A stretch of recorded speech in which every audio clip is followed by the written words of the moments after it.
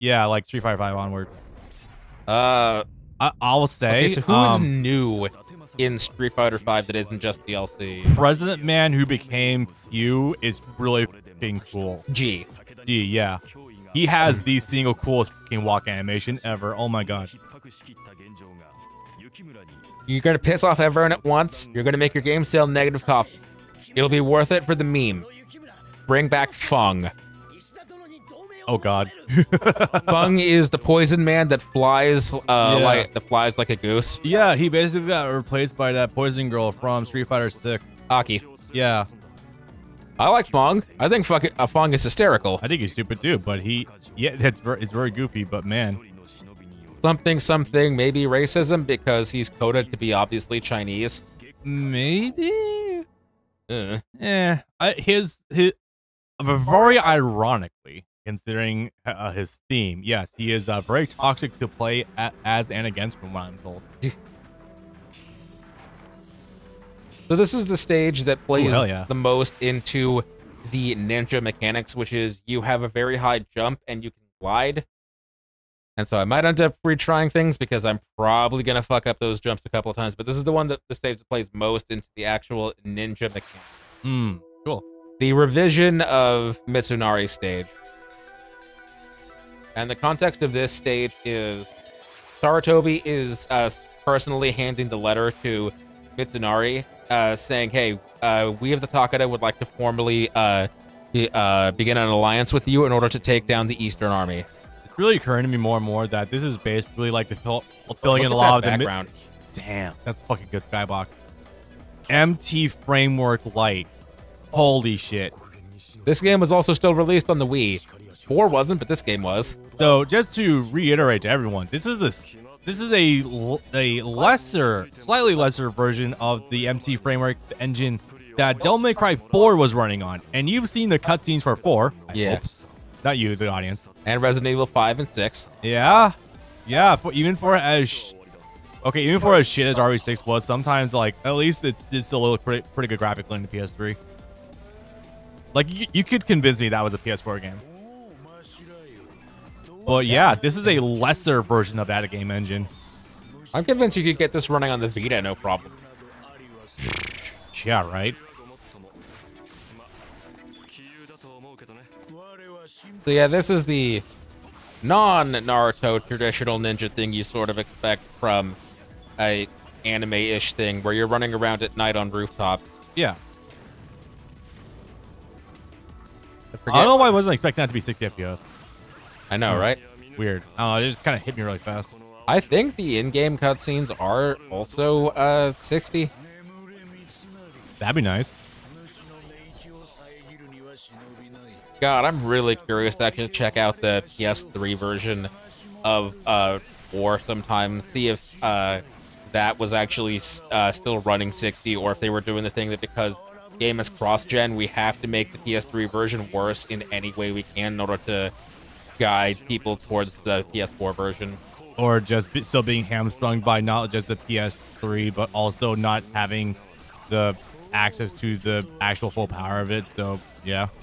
Well, uh, Sumeragi was released on both in the 2015. Yeah. Oh God, I'd have to. I almost want to check out what Yukimura Den looks like on PS3. 'cause That released late 2016 as the PS3 and PS4 game. Oh my. that is a thought. Japan was releasing PS3 games still on PS3 as late as like 2017 or 18.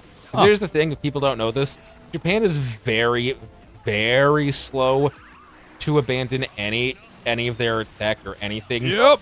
for a long time. That's why you, you will still hear uh, stories even now about how there are a lot of Japanese offices, government especially, that still use fax and still require you to uh, send paperwork through snail mail instead of email. American VA system, is that you? This is way worse than that. Well, they only recently switched away from paper.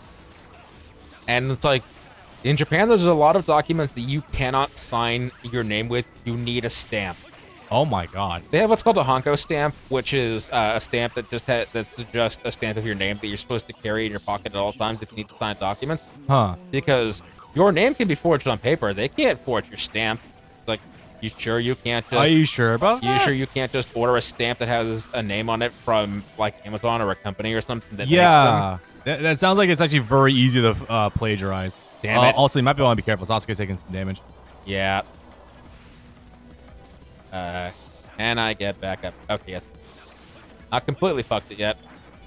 The red areas are showing up on the map are areas that you can only access with uh, the ninja characters. If you were to play this as anyone aside from uh, Kasuga, Kotaro, or um, Sasuke, you'd be stuck to the white paths only, which means you will actually miss a lot of substantial content from this stage.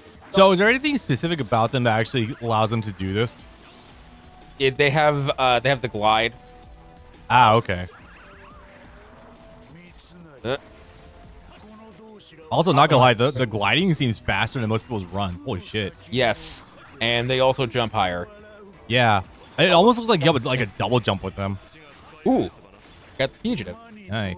So this is a thing that I never mentioned in three, because it never comes up. There's a thing in three and four called uh, the fugitive mechanic, where in some stages you can find a character hiding like in a corner somewhere, and if you beat them, and in three they're really hard, they have really high defense. You get a bonus to your uh, to your character's stats, and if you and in four you fail out a bingo book, you get a general uh, increase to your stats across the board for all characters. Hmm. Hello. Wasn't expecting to see you here in this literal pit. Yeah, well, I guess a bit kind of fits the whole theme, but you know, He's just a slave here. apparently. They're literally keeping him in a dungeon. And the handcuffs that make me wince, something fierce. Okay, I got an additional one for you that wasn't actually listed on Wikipedia. Hmm. Uh, God Hand. It, yeah, that was still Capcom technically. Yeah, I know. That that that took me by surprise too. And yeah, absolutely, God Hand needs way more love out there in the world. Fucking great game ahead of its time. I'm Because they didn't become platinum yet. They were still a clover. Oh, hey, a wild Richard Epcar appeared. yeah. Yep. I was gonna mention that too, but I'm glad you spotted it first.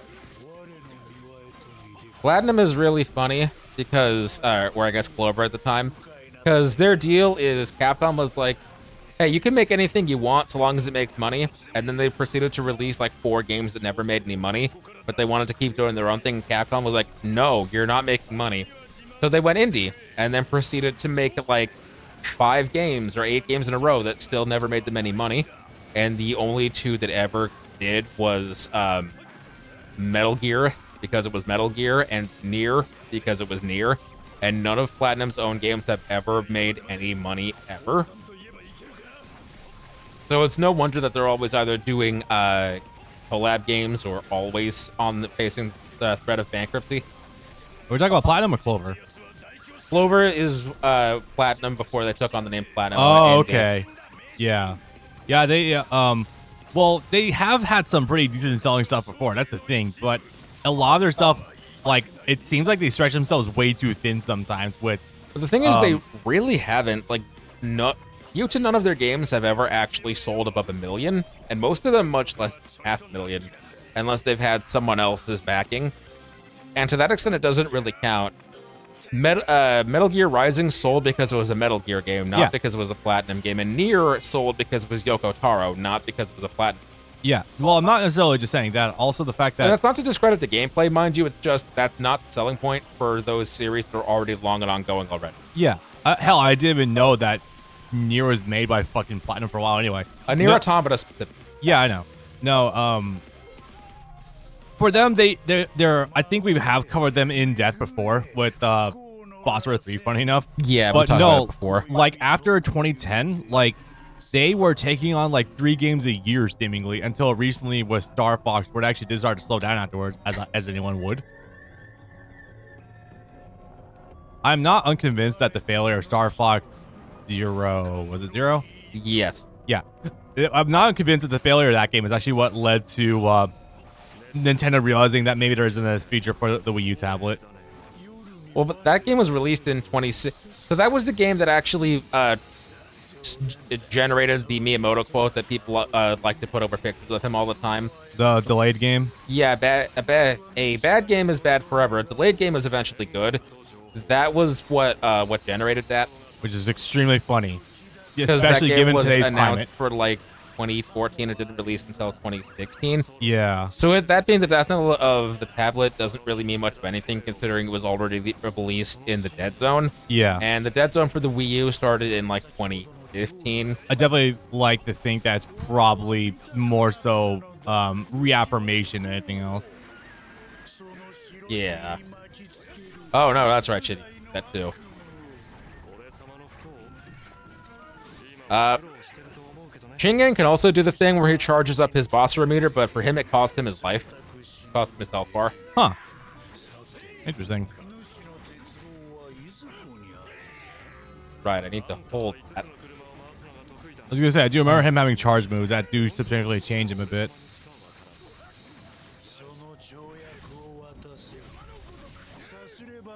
I just needed something with a little more help so I didn't die.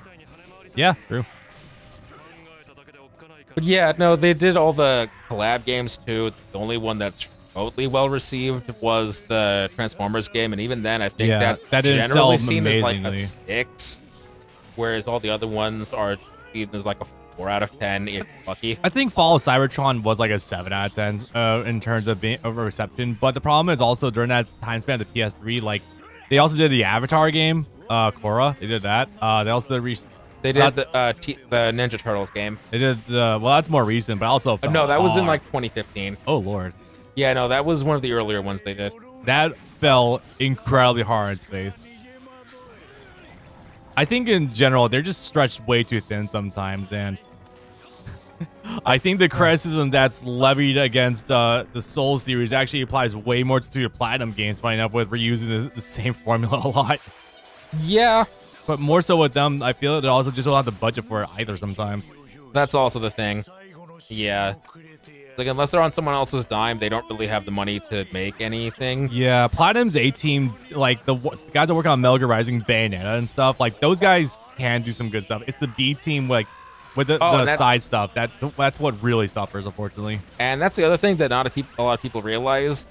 Bayonetta is a recognizable character, but Bayonetta has also never sold ever either. That's why uh, Sega abandoned them after uh, Bayonetta 1. And um, it didn't sell on the Wii U. And apparently, from what I heard, the Bayonetta 1 and 2 collection on Switch that released like a year into the Switch's life cycle, that sold even worse than the Wii U versions. That's interesting.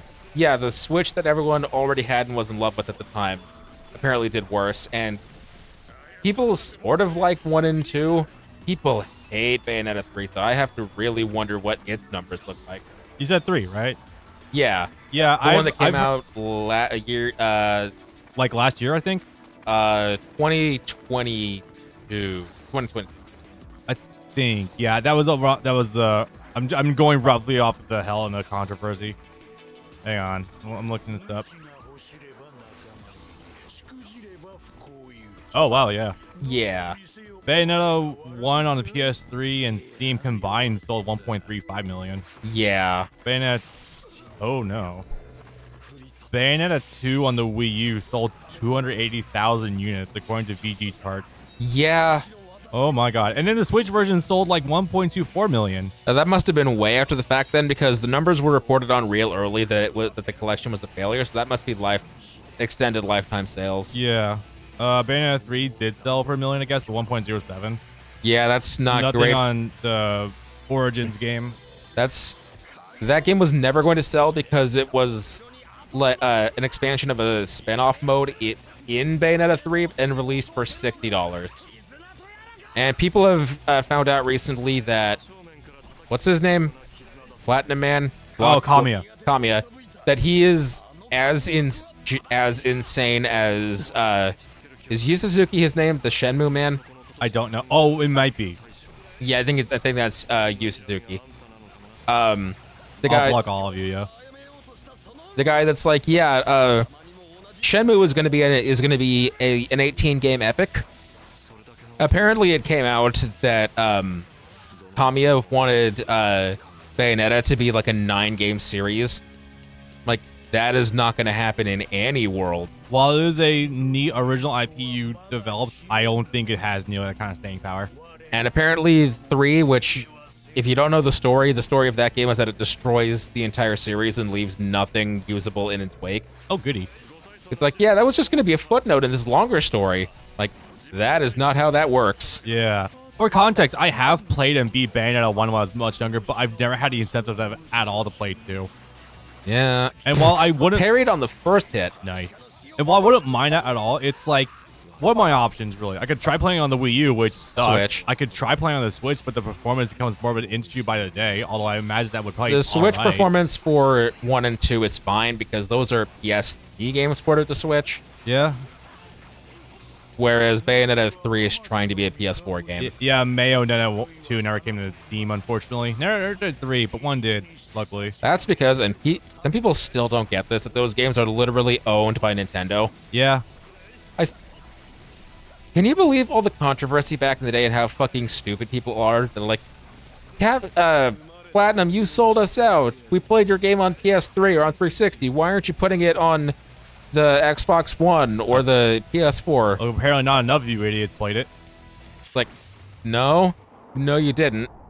But also, this game literally would not exist without Nintendo. Nintendo was funding it, so of course we're going to be exclusive to Nintendo. Also, I think Bayonetta and they and they still bitched after the fact, saying, "Well, I don't care. It should still be on the other thing." Also, I think Bayonetta one's also one of those games that actually ran worse on the PS3 than the 360. Yes, it did. It ran at like 30 or worse. Yeah, And the 360 wasn't great either because it's still a 7th gen console, so it was still running a game maybe at 50 if you were lucky. yeah.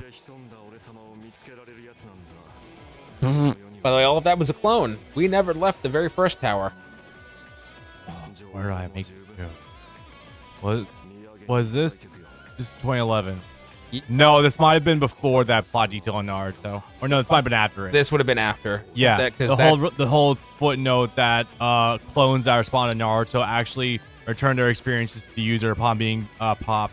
yeah, that retaining information thing would have been like 2007. No, that was like 2010 or so, No, or nine. No, because 2010 in the anime was the pain fight.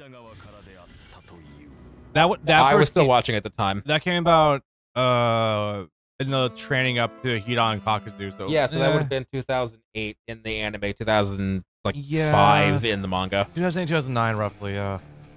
Right. Yeah, because I think it's 2010 that Itachi died, and that's why I started reading the manga. Yeah, it's like I I was uh, still watching at that point. Like end of 2009, beginning of 2010 is Jiraiya fight with Pain. Yeah. So actually, uh, can I take a really fast minute uh, for a break? I need to run to the bathroom, and go I. I need to uh, free weasel so they can play downstairs and don't bitch at me. Yeah, no Eh. problem. Well, well, this is done three whole, whole characters straight. So, be back in a minute, boys. Yeah.